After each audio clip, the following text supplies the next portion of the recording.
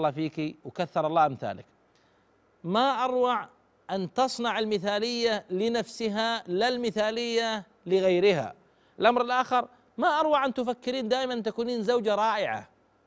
وهذا لا يتحقق إلا يوم تصبرين تتحملين.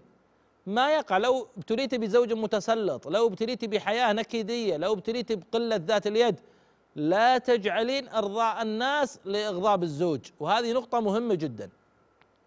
المرأة العاقلة لابد أن تجعل رضا الله عز وجل اولا ثم رضا هذا الزوج ثانيا لا رضا الناس. يعني أنا أتعجب من امرأة عاقلة تقول لا أمة تشتريني الفستان ولا ودني بيت هلي أمة تشتري لي كسوة ولا طلقني؟ اما إنك تغير أثاث البيت ولا أنا ما أعيش وياك؟ أصبحت مساومات الحياة الزوجية على أشياء تافهة. على أشياء تافهة. يعني مثل الرجال ممكن يطلق زوجته عشان ما طبخت. ممكن يعمل مشكلة ويخلق مشكلة من أجل أن يرضي زملائه في المجلس من أجل آه قهوة ولا شاي ولا غيره. وممكن هو يوديهم كافي شوب يراعي حياته الأسرية. وهذا واقع يعني.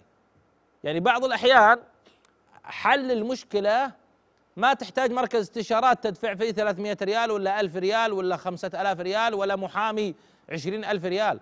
بعض الأحيان هالمبلغ هذا ممكن يحل مشكلتك. صدقني بعض الأحيان هذا المبلغ ممكن يحل مشكلتك.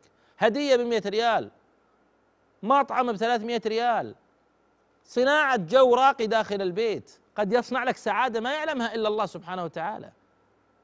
لذلك ضاقت العقول اليوم وضاقت الأفهام وصار إرضاء الناس هو الغاية